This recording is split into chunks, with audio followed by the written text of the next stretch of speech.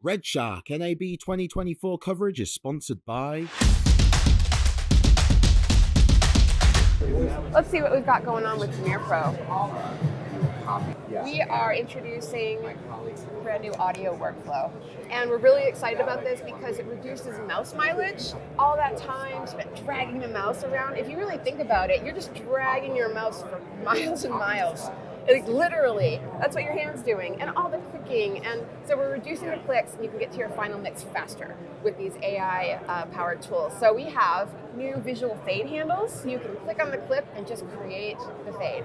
And it's really great because you can have a visual of the exact nature of the fade, and you can look at your sequence and see what's going on in it. It's really great.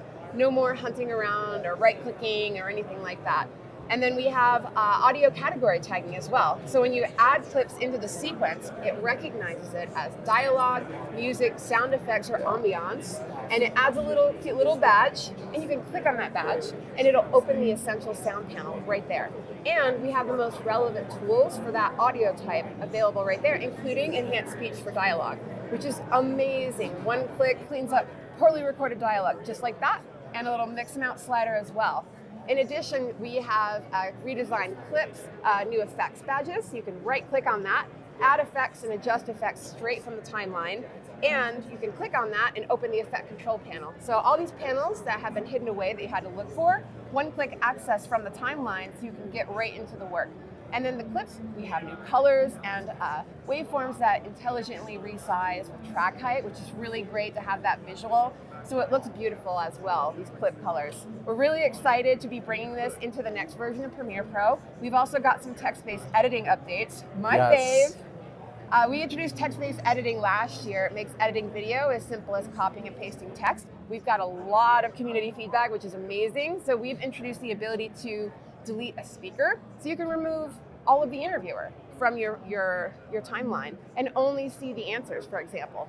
We also added markers. So you can add markers into your, into your transcript and you have visuals you can highlight, you can do a span marker, you can leave notes. So as you're reading and hunting for the perfect soundbite and want to save it for later, just add that marker and you'll always see it. And it's like, it's even more like editing a Word document to edit the video. So we're really excited about that, currently in beta and coming to Premiere Pro in the very next version uh, do you, do you remember like coming up in the industry and getting your first editorial jobs and having like these 20 30 minute interviews how, much, how many hours would we spend just like manually working on the cut downs to get to like the juicy morsels of the best talk tracks from the speaker the thing that gets me is when a producer would say, I know that they said this, they said this, and then you have to listen, you start questioning reality, and then you're like, uh, the producer says, oh, we said that during lunch, we weren't rolling. Oh, now you can just search for that text and then you know right away. It's been really amazing. I use text-based editing all the time. I do some video editing for a nonprofit,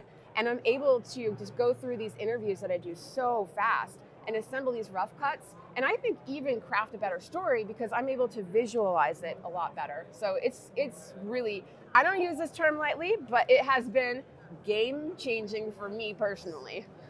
Totally, and and uh, text-based editing utilizes assistive AI, which we were talking about earlier. Right what are some of the other assistive technologies that we have to tell folks about at home that you can use right now in Premiere Pro? Yes, right now in Premiere Pro, we have a ton of AI powered features. We've had them for a long time.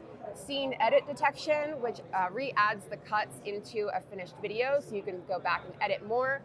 Auto color and color match to get to a starting point a lot faster with matching cameras or just balancing out the color. Speech to text, of course, in 18 languages, and then the ability to add captions um, enhanced speech, of course, as well.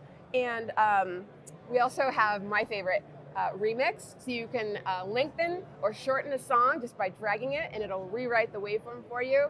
So we have a lot of these AI power tools that have already been in the product for a long time, and it's just really fantastic to be able to continue to build on that legacy and listen to the community and save y'all a lot of time. That's amazing. Can I add one more thing before we go? Apple Log support.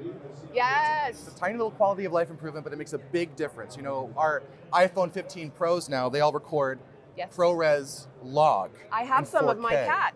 Yes, I saw that in the demo also. I have some of picking up my son from daycare.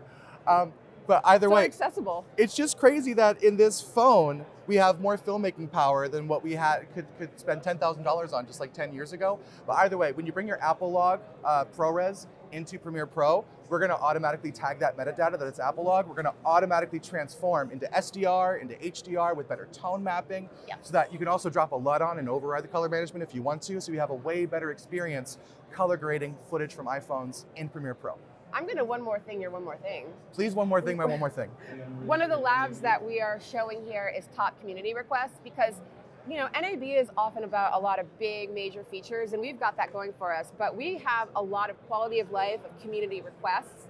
So we are looking at always introducing these little features that really help out people. And one of my favorites is label color presets. So if you work on across different teams, getting all your timelines to look the same has been challenging before. And so now what we have the ability to do is create a preset for your label colors. And you can change the colors, you can change the names, and we also have some example presets already built in, including editorial. So instead of the, the color name, they put the editorial asset, like video, VFX, things like that. And then so when you're when you're hunting through your sequence, you know exactly you can right click, add a label that says, you know, this is a VFX shot. So when you're doing VFX pulls later, you can just say, I want all the pink ones, you know.